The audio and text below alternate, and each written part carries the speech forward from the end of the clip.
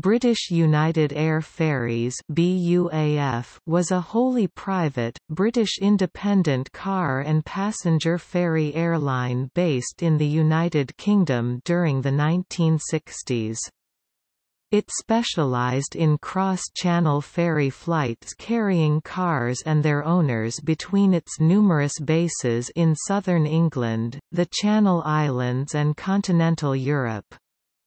All passenger and all cargo flights were operated as well. Following several identity and ownership changes, it went out of business in 2001. In its final years, as British World Airlines, its head office was at Viscount House, London Southend Airport. Topic history BUAF came into being on 1 January 1963 as a result of the merger of Channel Air Bridge and Silver City Airways. The newly formed airline was a wholly owned subsidiary of Air Holdings, which in turn was a subsidiary of British and Commonwealth B&C. This ownership structure made BUAF a sister airline of British United Airways BUA, at the time Britain's biggest independent airline and the country's leading independent scheduled operator. BUAF operated scheduled and non-scheduled vehicle ferry, passenger and freight services. This included scheduled routes from Southend, LYDD Ferryfield and Hurn to 10 points in the Channel Islands and continental Europe. Aviation traders Carvair operated what the airline called deeper penetration routes to Bâle, Geneva and Strasbourg. Bristol Super Freighters plied the routes to Jersey, Guernsey, Cherbourg, La Calais, Ostend and Rotterdam. The airline's scheduled services between the UK, La and Ostend formed part of Rail Air operations linking the respective capital cities at each end. These were operated in conjunction with Société Nationale des Chemins de Fer Français (SNCF) and Société Nationale des Chemins de Fer Belgiques, Nationale Maatschappij der Belgische Spoorwegen (SNCB), NMBS, the respective national railway companies of France and Belgium. Amongst these, was a six times daily Southend, Ostend vehicle ferry service operated in conjunction with erstwhile Belgian flag carrier Sabena. This service, which had been launched by Air Charter in partnership with Sabena in 1957 with three dedicated superfreighters in full Sabena livery and which BUAF had inherited from Channel Air Bridge, continued until 1964. Coach Air services were provided in conjunction with local coach operators between the UK, France, Belgium, the Netherlands and Switzerland via Calais, Ostend, Rotterdam and Bâle. In addition, all passenger configured Bristol freighters, superfreighters were used for inclusive tour work on behalf of BUA Services Limited. Sister airline BUA CI assumed the former Silver City routes linking the north of England with the Channel Isles and the continent. BUAF subsequently added routes linking Southampton with Rotterdam, Ostend, Calais, Deauville, La Jersey, Guernsey, Dinard and Cherbourg to its scheduled route network, while discontinuing its deeper penetration routes to Bâle, Geneva and Strasbourg as these generated insufficient traffic to sustain a viable operation. Some of the new Southampton routes were part of Rail Air operations in conjunction with the French and Belgian national railway companies as well, as a consequence of B&C's reorganisation of the BUA group of companies during 1967 eighths, BUAF changed its name to British Air Ferries BAF in September 1967. In October 1971, BAF's ownership passed from Air Holdings to the Keegan family. In 1972, BAF became a wholly owned subsidiary of Transmeridian Air Cargo (TMAC), a Stansted-based all-cargo airline controlled by the Keegan family. In 1975, BAF began replacing its remaining Carvairs with Handley Page Dart Herald turboprops on its cross-channel routes linking Southend with Touquet, Ostend and Rotterdam. This resulted in these services being converted into ordinary passenger schedules and the Carvairs being transferred to cargo flying. On 1 January 1977, BAF operated its last car ferry service. Later the same year, on 31 October, BAF Herald GBDFE operating the airline's inaugural scheduled passenger flight from Southend to Dusseldorf under the command of Captain Caroline Frost and First Officer Leslie Hardy became Britain's first airliner flown by an all-female crew.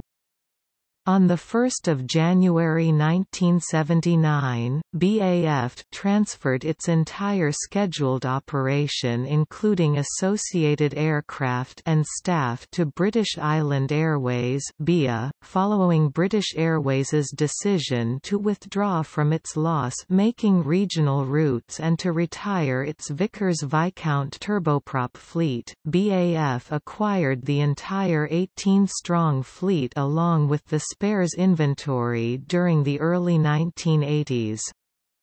This acquisition made it the world's largest Viscount operator at the time. As a result of the changes the airline underwent in the late 1970s and early 1980s, BAF mainly concentrated on leasing, charter, and oil industry support work. In 1983, the Keegans put some of their businesses into receivership and in March of that year, sold the British Air Air Ferries name along with the airline's commercial flying operations to the Jade Point Investment Group for £2 million.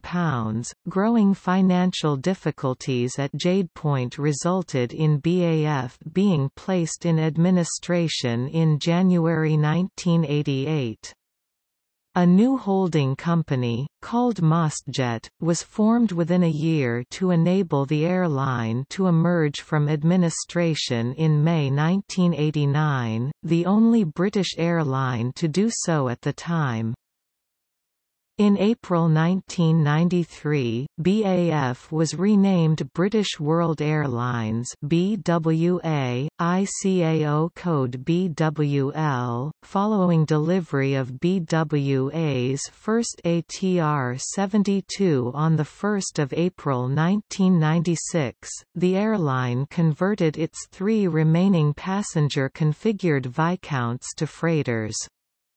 On 18 April the same year, BWA Viscount Gia operated the type's last passenger flight, marking the 43rd anniversary of the Viscount's entry into full commercial air service with British European Airways B. BWA ceased trading on 14 December 2001, as a result of the tough business climate during the post-9-11 2011 downturn.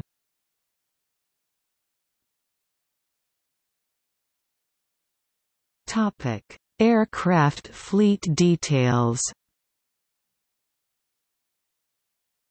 BUAF, BAF, BWA operated the following aircraft types Aviation Traders ATL 98 Carvair BUAF BAF ATR 72 200 BWA BAC 111 200 BAF 500 BWA BAe ATP BWA BAe 146 to 100 BAF 200 BAF 300 BWA Bristol 170 freighter marked 21E BUAF Bristol 170 freighter mark 31 BUAF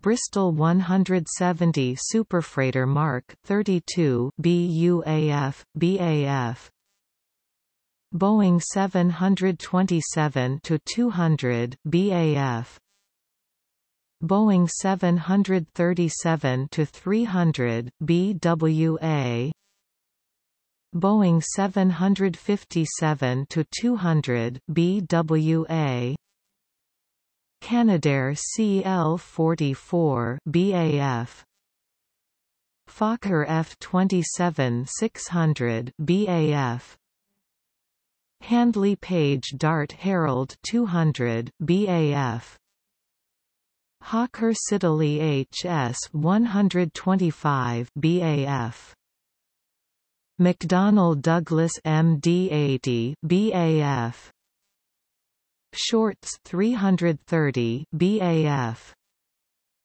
Shorts 360 BAF Vickers Viscount 800 BAF BWA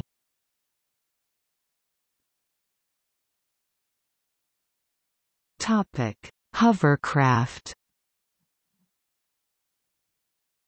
Vickers VA-3 BAF In BUAF's days, all aircraft were given individual names.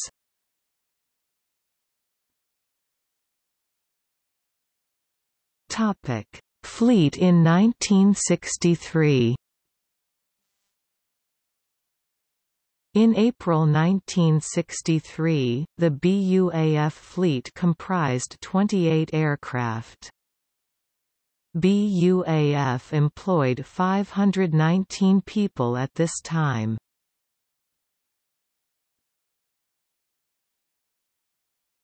Topic: Fleet in 1967.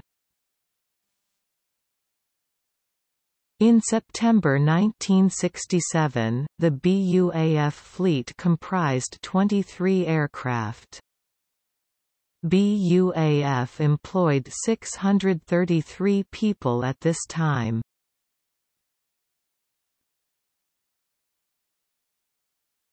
Topic: Fleet in 1972. In May 1972, the BAF fleet comprised eight aircraft. BAF employed 300 people at this time.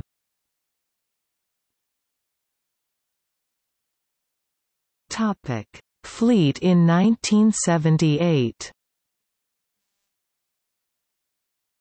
In April 1978, the BAF fleet comprised 18 aircraft. BAF employed 450 people at this time.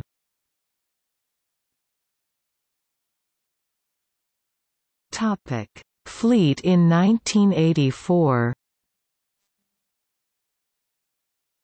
In March 1984, the BAF fleet comprised 10 aircraft. BAF employed 165 people at this time.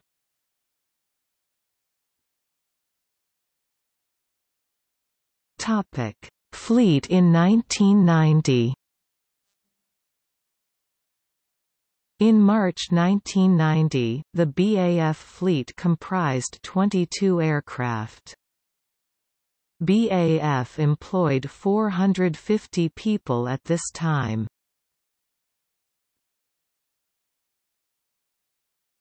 Topic: Fleet in 1994.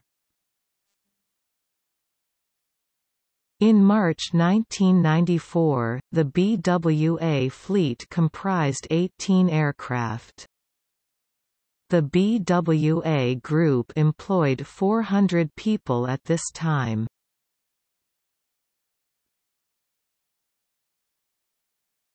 Topic: Fleet in 1998. In March 1998, the BWA fleet comprised nine aircraft. BWA employed 222 people at this time.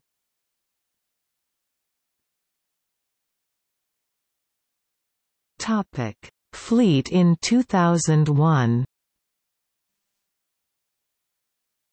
In December 2001, the BWA fleet comprised 15 aircraft.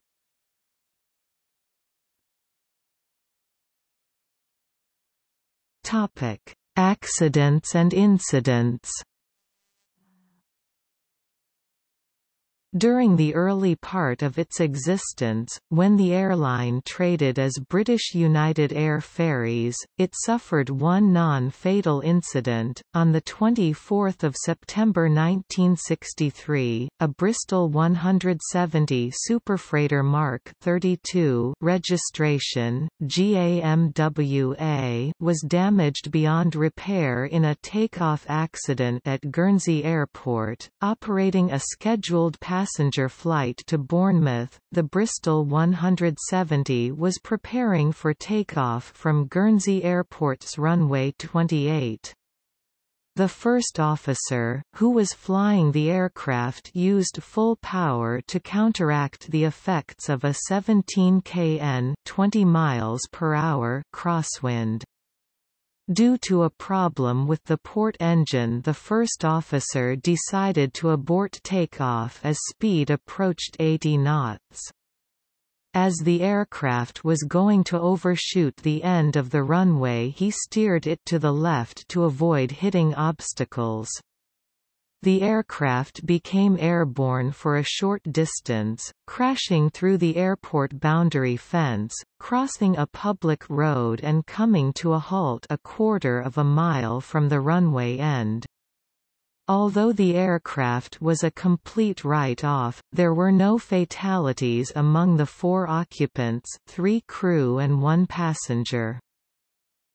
The accident investigators established the probable cause of the accident as the inability of the pilot in command to bring the aircraft to a stop within the remaining runway length, following his decision to abandon the takeoff due to a malfunction of the port engine. The company suffered two non-fatal incidents during the British Air Ferries era, Vickers Viscount 806 G. A. Pim Viscount Stephen Piercy was hit on the 11th of January 1988 by a Fairflight Shorts 330 registration GBHWT which had suffered a nosegear break and steering failure while preparing to take off from Southend Airport to Fairflight's Biggin Hill base.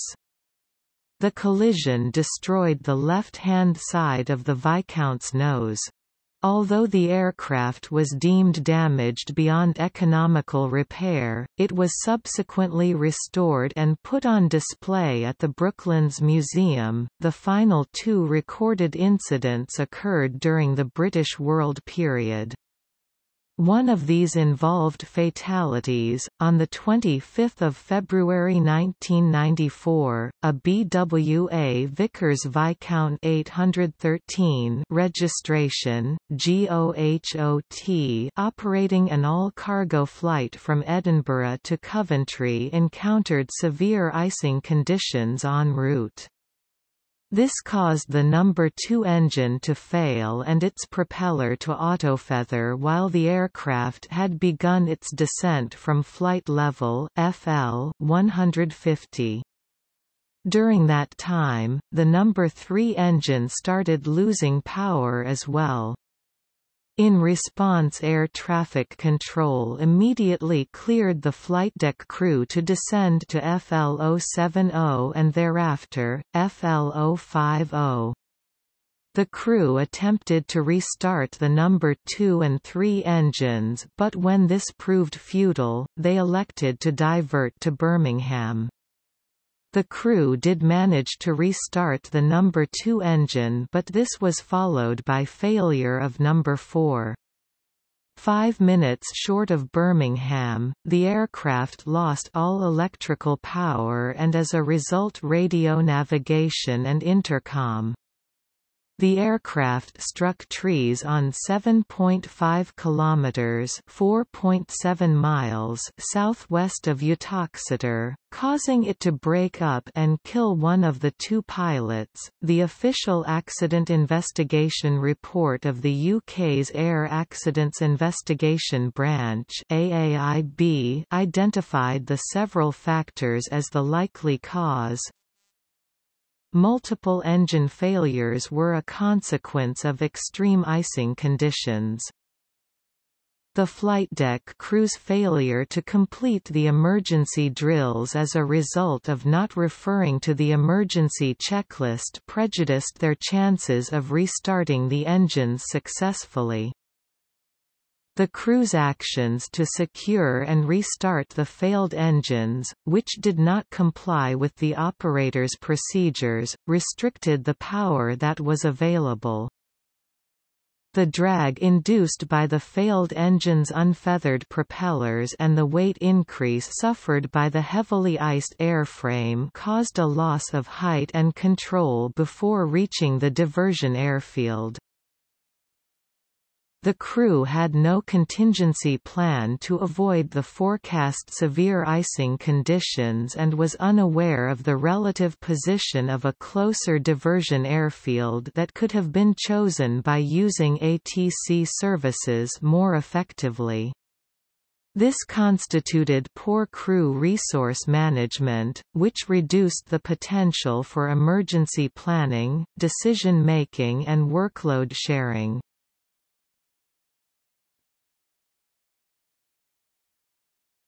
Topic: Film and TV appearances. BUAF aircraft appeared in the following feature films and TV series in the opening scenes of the 1966 film That Riviera Touch, Eric Morecambe and Ernie Wise, better known as Morecambe and Wise, along with their elderly car, fly to Le Touquet in a BUAF Bristol superfreighter. A BUAF superfreighter is seen in the 1965 film Hysteria flying Robert Webber and his girlfriend abroad. A BUAF Carvair is seen transporting Auric Goldfinger and his car in the James Bond film Goldfinger from Southend Airport to Geneva. A BUAF Carvair is featured in several brief scenes cars being loaded, taking off, taxiing in the Sentimental Agent episode 6 Meet My Son Henry. BUAF's car ferry service is shown in the episode, Racist, of the Anthony Quayle series The Strange Report. A BUAF aircraft is seen in the opening scene of the video clip for the song, Do Wah Doo. The song, Do Wah Doo, is performed and written by Kate Nash. It was released in early 2010. Albert Finney and Audrey Hepburn use a BUAF car ferry service in Stanley Donen's film Two for the Road. BAF aircraft are seen in the background of scenes shot at Jersey Airport on several occasions in the BBC detective series Bergerac. A BUAF 737 is seen in Series 4 Episode 11 of Airline, operating a service from London Luton to Palma, Majorca.